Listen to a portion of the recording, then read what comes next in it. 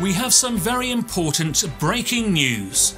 Information has come our way which very worryingly incriminates London's Metropolitan Police in secret targeting operations against members of the public.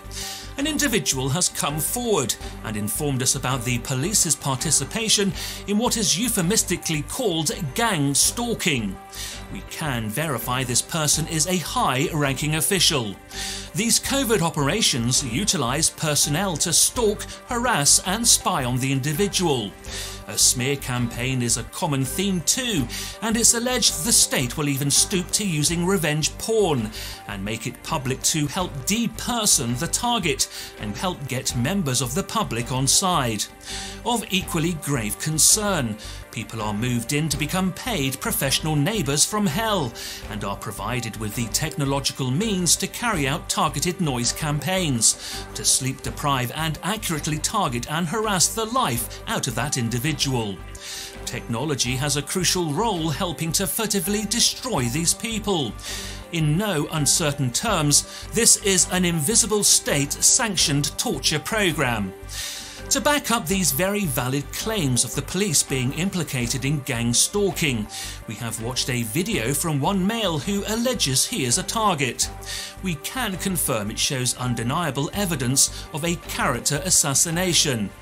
Worryingly, the police, instead of acknowledging the veracity of this very credible evidence, have gaslit it. Why would they do this unless they were involved in this illegal targeting program? An independent source, one who works in the field of professional counselling, has also watched the video containing some of the evidence and typed a brief report on his findings. It makes for some very troubling reading and certainly contradicts completely the police's assessment. From a neutral perspective, we have to agree with the counsellor. Something quite sinister is going on, and we would like to get to the bottom of it. This individual lives in Peckham, southeast London. He lives in this top floor flat with his brother and consents to his address being shown. He has told us his targeting began back in 2009, shortly after he attended a protest in the Square Mile area of London. He was there to take photos for his personal website, photoslondon.com. He was kettled by the police at this protest. From then to now, he has been subjected to the various components used in these targeting operations. We would strongly urge Scotland Yard to address these accusations of their part in the gang stalking targeting programme and why they saw fit to gaslight very credible evidence of character assassination, among other disturbing actions, including unwarranted mental health referrals.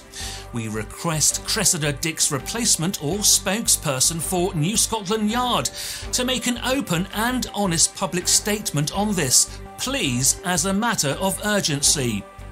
And on that bombshell, we'll be back tomorrow at 6 with more London wide news stories. So have a good evening and bye for now.